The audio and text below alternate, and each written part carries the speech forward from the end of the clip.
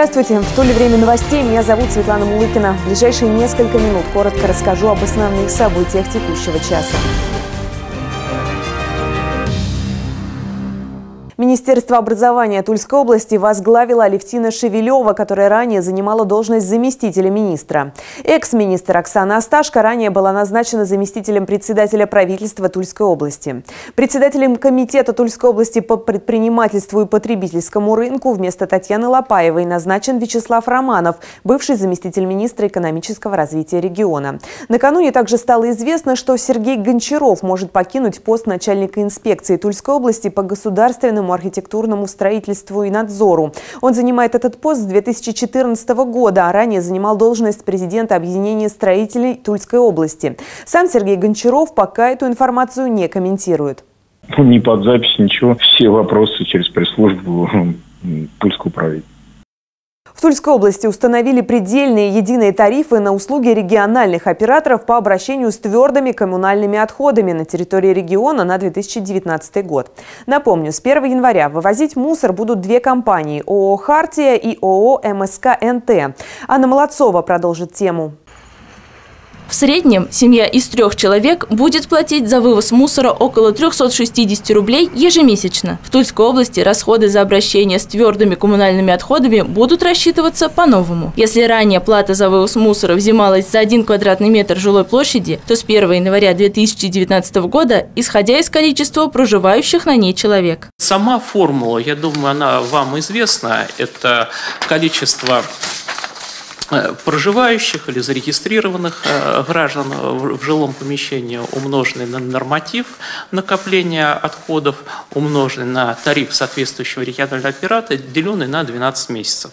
Теперь вывозом и переработкой мусора будут заниматься региональные операторы. Это Хартия для Большой Тулы, Щекинского и Киреевского районов и МСК НТ для остальной части региона. В первом полугодии 2019 года тарифы для Хартии составят 518 рублей 25 копеек за кубический метр, а во втором возрастут до 60-21 рубля 90 копеек за кубический метр. Для МСК НТ 623 рубля 2 копейки за кубический метр, а во втором полугодии увеличится до 740 47 рублей 62 копеек за кубический метр. Цифры, которые также будут учитываться в формуле, озвучил начальник Государственной жилищной инспекции Тульской области Леонид Ивченко. Исходя из норматива накопления мусора и тарифа для индивидуальных жилых домов, а, норматив – это 2,65 кубических метра с одного проживающего. Для многоквартирных жилых домов 2,3 а, кубических метра с одного проживающего. В обязанности региональных операторов входит замена контейнеров для мусора на новые. Их будет 17,5 тысяч. И устаревших мусоровозов новой техникой. Приобретут 100 машин. Внедрить систему раздельного сбора мусора, обеспечить его вывоз, а также построить полигоны и сортировочные комплексы. Так как услуга вывоза мусора мусора переходит из жилищной в состав коммунальной, управляющие компании обязаны с первого дня Нового года исключить из платы за содержание жилья средства на сбор, вывоз и утилизацию отходов, а также уведомить об этом собственников. За счет этого в среднем по региону плата за содержание жилья уменьшится на 15%.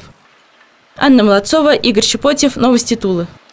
Торжественное собрание, посвященное 25-летию Тульской областной думы, прошло сегодня в филармонии. Областная дума была одним из первопроходцев в новой истории российского парламентаризма. Это один из первых региональных парламентов России. Тулики выбрали депутатов 12 декабря 1993 года в один день со всенародным голосованием по Конституции Российской Федерации. Сегодня народных избранников поздравляли общественники и представители власти. Хочу поблагодарить депутатов всех созывов, конечно же, и работников аппарата Думы за многолетний добросовестный труд в интересах нашего региона, в интересах наших жителей. Экс-губернатор Тульской области назначил бывшего прокурора региона Александра Козлова председателем комиссии Ассоциации юристов России по совершенствованию правоохранительной деятельности. Владимир Груздев в настоящее время, напомню, возглавляет правление Ассоциации юристов России. Александр Козлов был утвержден на должность прокурора Тульской области в марте 2015 года, освобожден от занимаемой должности в мае текущего года. Тульский «Арсенал» в домашнем матче 16-го тура премьер-лиги обыграл петербургский «Зенит» со счетом 4-2. У красно-желтых дважды отличился Эван Скангва на 6 и 74 минутах. На 39-й минуте забил Резюан Мирзов. На 77-й отличился Зелимхан Бакаев. К этому часу у меня все. Более подробная картина дня на нашем сайте tsn24.ru.